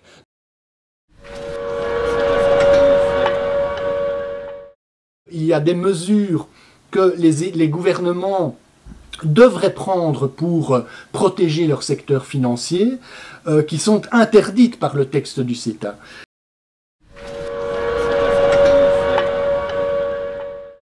Euh, une des causes de la crise euh, financière de 2008 et surtout de l'impact de la crise financière sur les finances publiques et donc sur le citoyen, ça a été le fait que les gouvernements ont dû voler au secours de banques, de banques qui étaient des banques énormes. Les États ont dû les sauver parce que euh, si elle laissait tomber ces banques en faillite, en fait, c'est tout le système financier euh, qui, euh, qui était menacé. Mais ça a coûté évidemment très cher aux contribuables. Je rappelle que à la suite du sauvetage des banques, et de la crise de 2008, la dette publique a d'un coup augmenté de 20% du produit intérieur brut en Belgique. Et donc, dans, une, des mesures de re-réglementation, ça pourrait être de démanteler les banques systémiques, donc de euh, séparer les banques systémiques en plus petites banques. Et donc l'avantage que l'on a quand on a des plus petites banques, c'est que vous pouvez laisser tomber euh, la banque en faillite et ce sont les actionnaires qui payent. Et ça ne crée pas de choc euh, dans, le, dans le système financier. Eh bien, il faut savoir que le CETA interdit de démanteler les banques too big to fail. Il y a une mesure dans le CETA c'est l'article 13.6 euh, du CETA qui dit que un État ne peut pas imposer euh, de limitation sur la valeur totale des actifs qui sont détenus par une banque.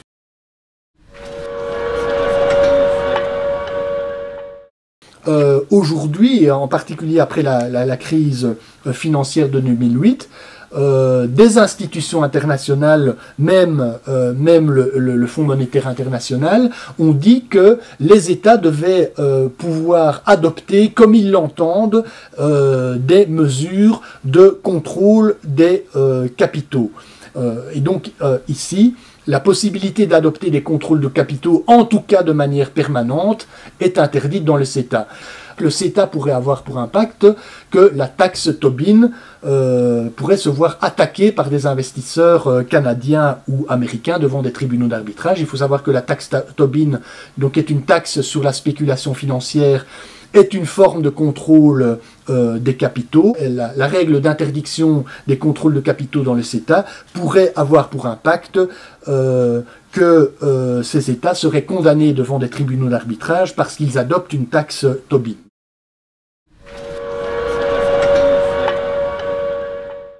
Il y a une autre mesure dans le CETA qui interdit à un État de fixer euh, des restrictions ou des obligations en matière de forme juridique des établissements euh, bancaires.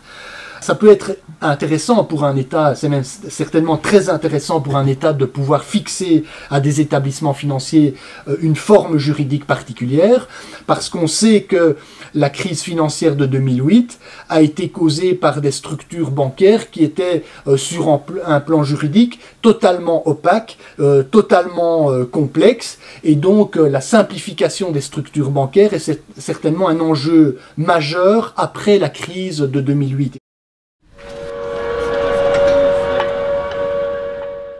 La nationalisation des banques est un outil euh, qui est euh, fondamental, aussi bien pour sauver des banques qui sont au bord de la faillite, que pour avoir un secteur financier qui soutient l'économie réelle et pas la spéculation euh, financière. Or, le fait que le CETA impose euh, aux États des réparations financières ou des compensations financières lorsque un État rachète une banque euh, privée est de nature à freiner euh, la nationalisation des banques. Donc, si je comprends bien, on donne un permis aux banques pour jouer au casino. S'ils gagnent, tout l'argent va vers les actionnaires. S'ils perdent, c'est nous qui payons. Rapide petit calcul. Nous sommes les vaches à lait des banques. Mhm. Intéressant.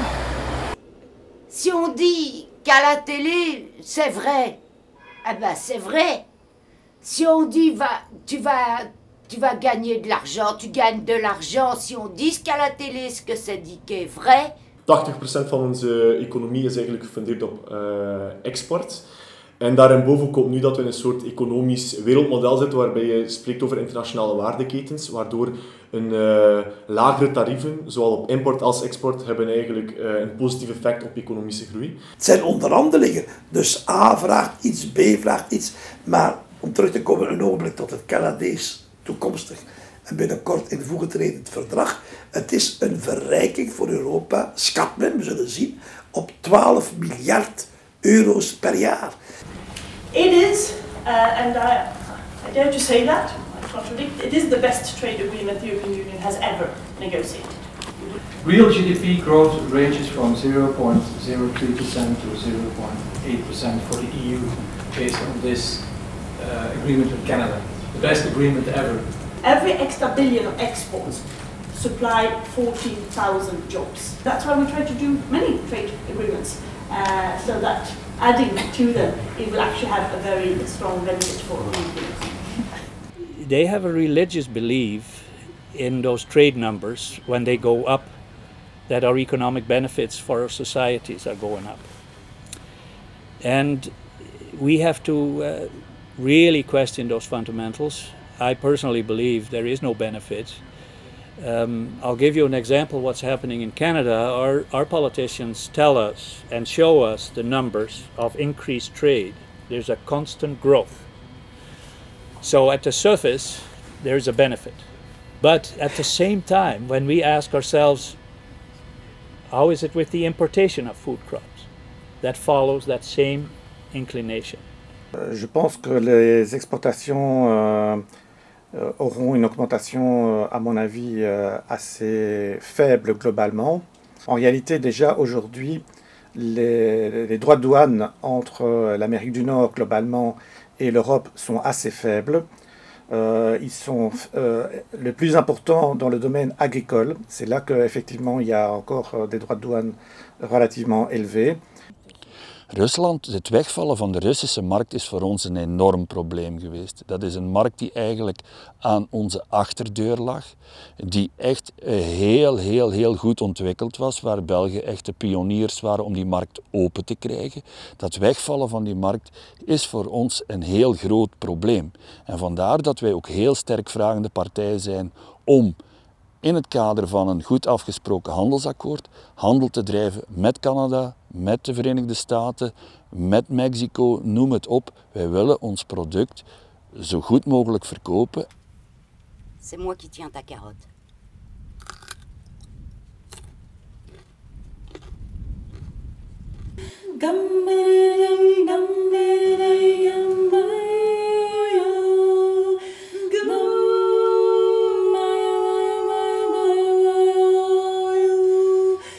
Heel veel boeren hebben gekozen voor grote producties met een exporteconomie. Maar dan word je natuurlijk volledig afhankelijk van die internationale markt. En de vraag is dan, hoe duurzaam is dit? Als jij wilt ontsnappen aan die internationale marktmechanismen en als jij je vermarkting lokaal wilt inrichten, dat is, dat is wel een supergrote uitdaging. En ik denk dat daar ook eigenlijk de missie ligt voor een, een degelijke boerenorganisatie. En ik zie over de taalgrens in Wallonië dat, dat bijvoorbeeld Fugia dat echt doet. Die hebben echt gewoon adviseurs rondlopen die op die bedrijfsautonomie aan het werken zijn. En daar, daar ligt de lange termijnsvisie. Je mocht op de korte termijn zeggen, oké, we hebben op de korte termijn een, een oplossing nodig voor de perenboeren die al hun peren zien rotten vandaag de dag. Maar op de lange termijn moeten nadenken, hoe kunnen we er nu voor zorgen dat die producties in die boomgaarden wordt gediversifieerd en dat die boeren eigenlijk met een diverser aanbod de lokale markten kunnen bevoorraden voor de lange termijn. Ensuite, nous sommes principalement un pays de PME. Et donc, les PME vont grandement bénéficier des retombées positives euh, de euh, l'ouverture des marchés euh, transatlantiques. En plus, je voudrais souligner le fait que les multinationales et les PME ne sont pas deux mondes qui s'ignorent, que du contraire. Chaque entreprise, chaque grande entreprise a toute une série de fournisseurs, sous-traitants PME. Chaque PME travaille et, fait partie d'un cycle euh, en lien avec des entreprises de plus grande taille. Euh, en ce qui concerne l'ouverture des marchés, la question de l'ouverture des marchés, c'est qui mange qui c'est ça la règle même du marché. Alors si l'objectif c'est qu'à terme nous nous retrouvions complètement inféodés à des normes de production qui ne correspondent pas aux logiques que nous avons mis en place au niveau des consommateurs et de la protection des droits de l'environnement, mais aussi du droit du travail, alors dans ces cas-là, euh, ce n'est pas une ouverture du marché, c'est véritablement une boucherie que l'on qu'on va, ouvrir et ça nous ne pouvons pas être d'accord. Est-ce qu'on se rend compte que pour le CETA et le TTIP, ce n'est pas des organisations marxistes-léninistes qui s'y opposent, c'est notamment l'Union des classes moyennes en Belgique qui représente les PME belges, qui dit c'est mauvais pour notre économie de PME. Je rappelle qu'en Belgique, plus de 90% de l'activité économique est aux mains des PME. Doit-on toujours inexorablement faire des traités uniquement pour les multinationales qui ne créent plus d'emplois, qui justement en détruisent plutôt? Il y a la concurrence qui va se jouer de, plus en plus forte entre groupes et un certain nombre de groupes vont se retrouver avec trop d'usines par rapport à la demande qu'ils peuvent effectivement avoir et capter. Et donc, dans ce cas-là, ils vont faire ce qu'ils font déjà maintenant à l'échelle entre guillemets régionale, donc régionale, c'est-à-dire au niveau européen et au nord-américain, mais ils vont le faire alors à ce moment-là dans l'ensemble des, deux, euh, des deux régions. Euh, une gestion pour dire, ben voilà, j'ai 15 usines au global, est-ce que je ne sais pas euh, refaire reporter l'ensemble de la production sur 14, voire 13 usines? Le regroupement et la concentration industrielle euh, fait en sorte que souvent dans un certain nombre de régions, il n'y a plus qu'une grande usine. Si celle-là disparaît, c'est toute la région évidemment qui va en souffrir, parce que évidemment cette usine euh, a un effet euh, indirect non seulement sur les emplois qui vont être perdus dans cette usine-là, mais également dans tous les emplois dans la sous-traitance et dans tous les emplois de services qui sont liés autour de cette usine-là, éventuellement même les commerces qui sont autour, etc.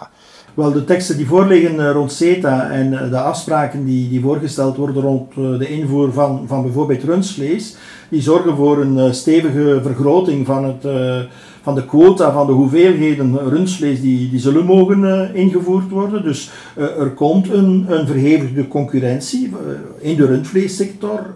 Bij CETA merkt je dan op dat er een soort van koehandel wordt gedaan. Dus er gaat meer melk kunnen worden geëxporteerd naar Canada, vol, allee, vol applaus, staande ovatie. Maar Canada zal ook meer rundvlees kunnen invoeren in België.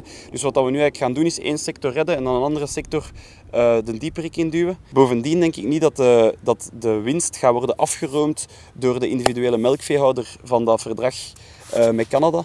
Want het gaat vooral gaan over kaas en dat is al een heel afgewerkt product dat al uit de zuivelverwerkende industrie komt. En zij zullen wel met de winstmarges gaan lopen. De, de stijging van de frietprijzen zijn, zijn, zijn eigenlijk nooit niet bijvoorbeeld bij de patattenboeren terechtgekomen.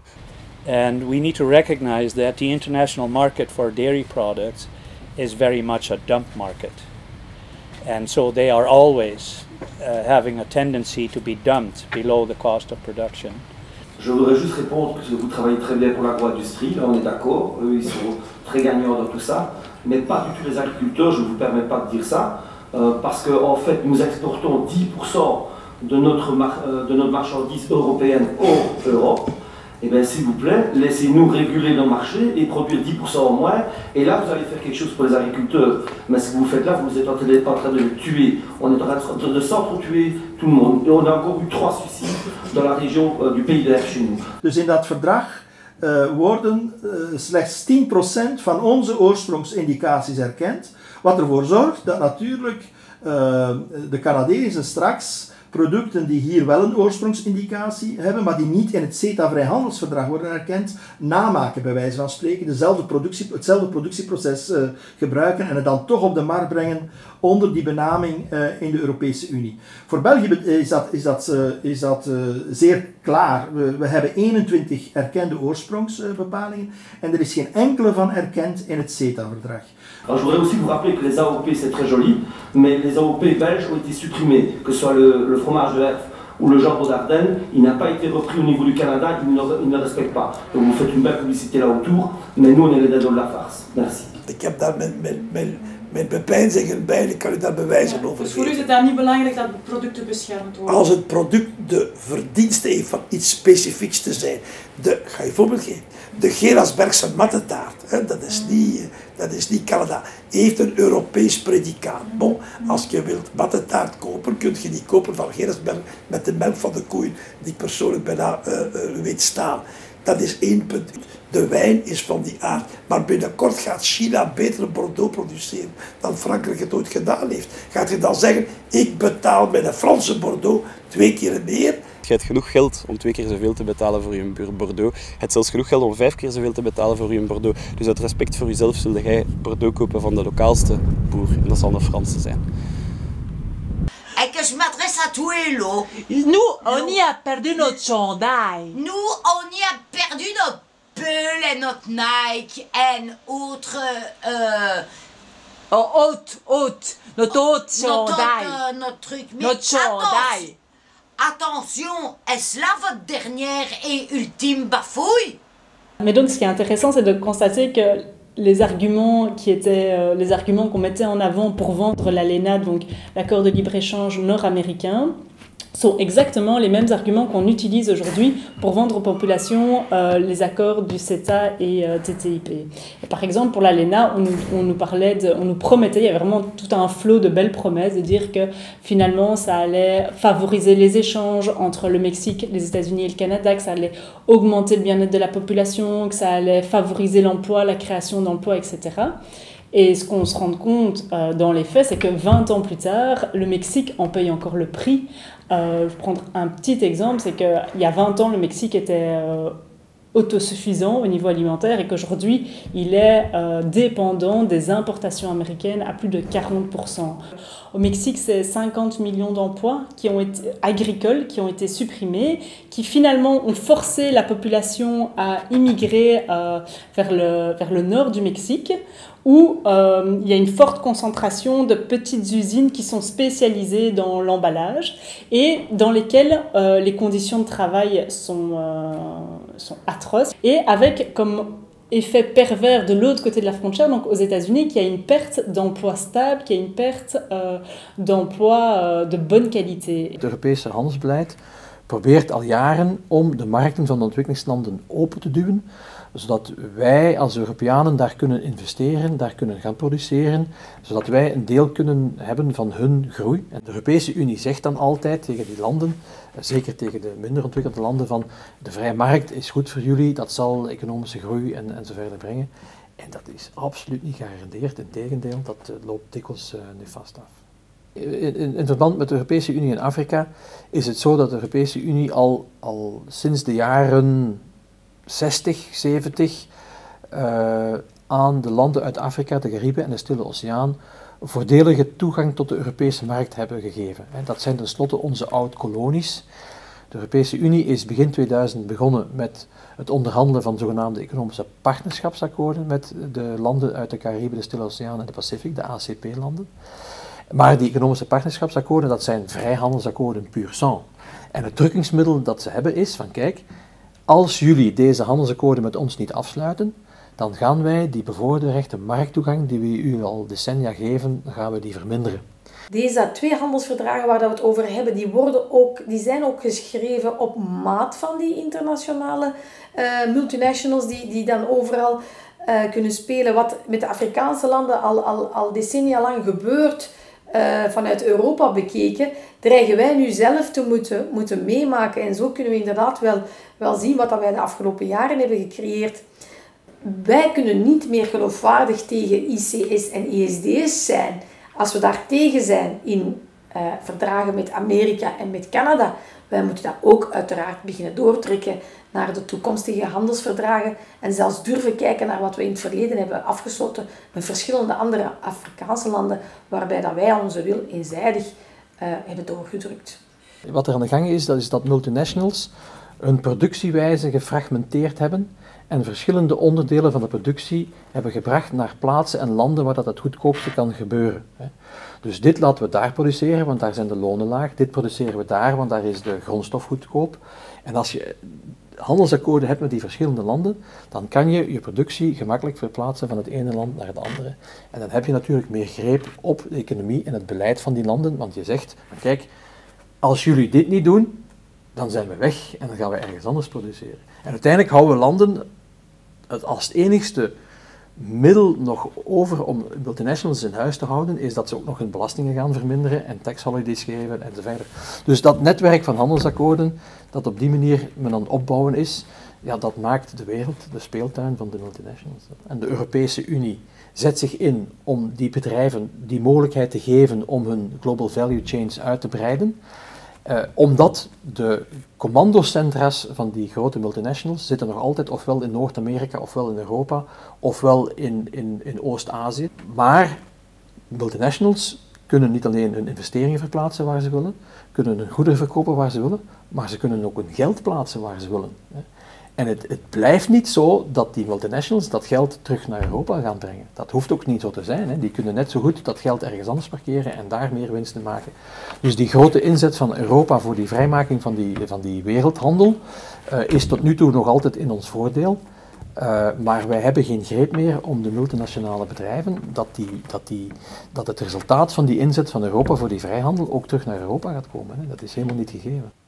Le bilan de ce genre de stratégie eh bien, c'est de la misère pour les populations, aussi bien ailleurs que chez nous.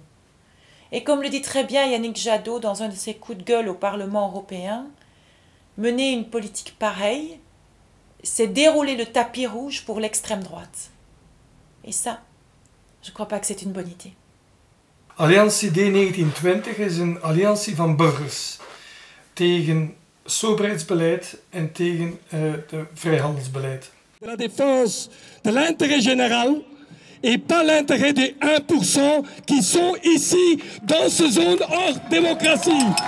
Ici. Het is eigenlijk uh, de boerenbeweging die hier het debat en uh, de strijd in uh, België rond de TTIP op gang gebracht heeft. Een alliantie van en stadsmensen en mensen van een buiten.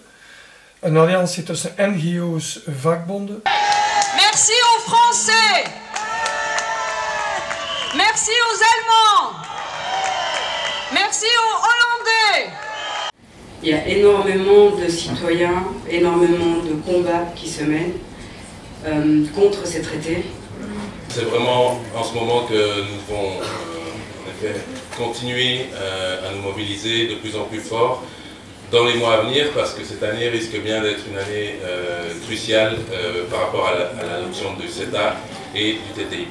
Donc euh, je pense que la résistance contre ces traités est absolument nécessaire, je n'ai pas besoin de vous en convaincre, mais on se rend bien compte que ce ne sera qu'une première étape, puisque finalement ces traités ne sont qu'un visage d'un projet de domination totale du monde et des humains par les.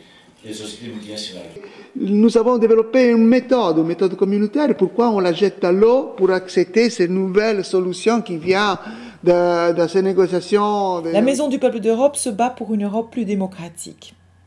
Elle fait du lobbying citoyen auprès des politiciens et se concentre pour l'instant sur le CETA et le TTIP. Elle propose une formation sur ce sujet et voudrait dans ce cadre proposer un Parlement citoyen qui se prononcerait sur le CETA après avoir suivi une formation. Elle propose aussi une formation de lobbying citoyen. Commune hors TTIP. Donc euh, il faut savoir que euh, à partir du moment où les citoyens se sont organisés, euh, il s'avère qu'on a essayé d'abord de dialoguer et d'exercer nos droits démocratiques plutôt au niveau européen. Et donc il y a eu d'abord l'ICE, qui est en fait l'initiative citoyenne européenne. Donc il s'avère qu'en fait, euh, après avoir récolté un certain nombre de signatures euh, auprès euh, des citoyens dans toute l'Europe, il s'avère que nous n'avons pas eu gain de cause et que l'Europe ne nous a pas entendu. Et donc les enjeux se sont situés au niveau plus local. Et donc des citoyens comme moi, par exemple sur ma commune à Etterbeek, j'ai décidé d'interpeller ma commune. Hoe kunnen wij nu op, op Europees vlak ergens gehoor krijgen? Dat is gewoon naar de politiek stappen en op gemeentelijk vlak dachten we, kan dat via het, uh, het aanbrengen van een motie. Une motion qui se prononçait à la commune hors TTIP, c'est à TISA, qui disait contre euh, tous ces traités et qui disait même qu'on irait en justice si ces traités passaient. Wij kiezen ervoor om TTIP vrij te zijn, omdat we weten dat de TTIP, als het erdoor komt, dat dat hier de mensen in Borgerhout, dat het, hun leven gaat op achteruit gaan. Le CETA est donc une bonne nouvelle pour les entreprises européennes et surtout pour l'emploi en Europe. Vous savez, vous savez, je respecte les opinions de tout le monde, mais j'ai quand même 35 ans d'expérience parlementaire. Et je n'ai jamais, je le répète, jamais assisté à une aussi grande campagne de désinformation internationale que celle-ci. Elle est, elle est concernante et je trouve ça très inquiétant pour l'évolution de la société que l'on manipule la population.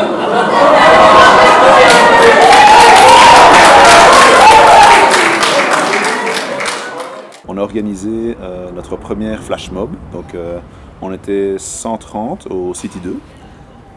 Donc, on était tous, on va dire, on a tous fait un, dying par rapport au, on mangeait en fait du poulet qui était trempé dans du chlore. Et, c'était toute une mise en scène. C'était vraiment une, très très chouette action euh, qui a après été fort diffusée sur les réseaux sociaux. Et donc après on, y a pris goût et de plus en plus de gens nous ont rejoints. Et donc on a commencé à faire euh, d'autres actions. Et alors à un moment donné nous est venu, donc là c'était au mois de juin 2015, euh, on a fait notre première action, on va dire chanter. Et donc en fait on a en quelque sorte infiltré l'événement. Et euh, on avait tous mis notre plus beau costume. Et donc euh, on s'est invité. Et alors on a, à un moment donné, on a commencé à, chanter en fait euh, une chanson, donc qui est la chanson des Misérables, qui est donc le Do You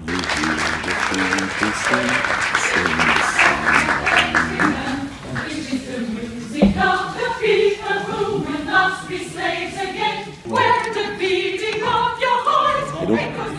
ça c'était la première fois. Donc là c'était, on avait eu l'idée de se dire voilà tiens, on va faire un, chant un peu fort, euh, un peu, un peu révolutionnaire aussi pour dire, voilà, les Do You Hear the People Sing, c'était vraiment très fort. C'était vraiment dire, en chanson, pacifiquement, gentiment, dire on n'est pas d'accord avec vous. Do you hear the people sing? Singing the song of angry men. It is the music of the people who will not be slaves again. When the beating of your heart echoes the beating of the drums. There is a life about to start tomorrow comes. On reste pas non plus très longtemps. On a un message à faire passer. Euh, voilà, on fait toujours euh, une action très pacifique, très ludique. Euh, voilà, mais on communique aussi qu'on ne lâche pas. On, est là, c'est, on n'est pas là. C'est, très important en fait. Donc en fait, on, on, on continue et on continuera jusqu'à ce qu'on arrête cette horreur. Voilà.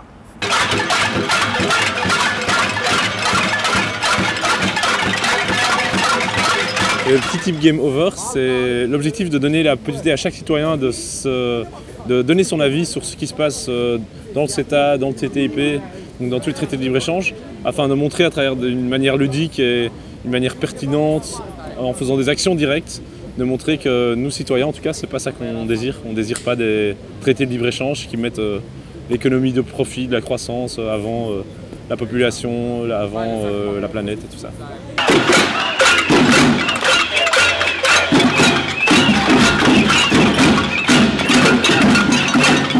les Climate Games euh, à la COP 21 et même déjà avant, il y en a déjà eu aussi, qui était euh, l'objectif était vraiment de permettre à des, des, jeunes et des moins jeunes, des gens, des citoyens euh, qui se posent des questions sur le climat et qui veulent que le climat guérisse, de pouvoir être actifs physiquement à Paris en faisant des actions de désobéissance civile.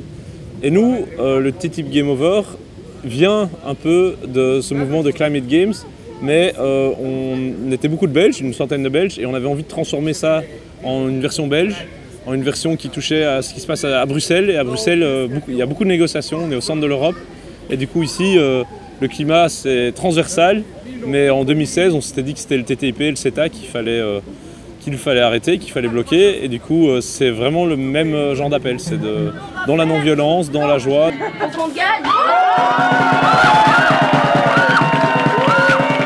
Nous, ce qu'on propose ici, justement, c'est de dire à chacun, participe à, l'appel, fais des actions. Nous, on les publie, on les médiatise. Et ensuite, euh, ça permet de montrer qu'on fait partie d'un énorme mouvement, mais qui a envie justement de remettre le doigt sur un problème dont on ne parle pas assez, et de manière plus sensationnelle, parce qu'effectivement, c'est ça qu'on parle beaucoup dans les médias. Il faut que ça pète, il faut qu'il y, ait des images, il faut qu'il y ait euh, du rire, il faut qu'il y ait des danses. Et du coup, euh, ici, on est au lieu où en fait un, des groupes d'activistes a préparé d'ailleurs leur danse euh, des animaux qui, qui attaquaient la DG Trade, parce qu'effectivement, même la nature risque de beaucoup subir suite à des traités de libre-échange comme ça. Et donc, il y a un groupe d'activistes qui s'est transformé en animaux et en autres objets de la nature ici même. Et du coup, on reparle du TTIP, on reparle du CETA. Et c'est ça qu'il faut, il faut qu'on en parle parce que c'est grave et que ça touche tout le monde.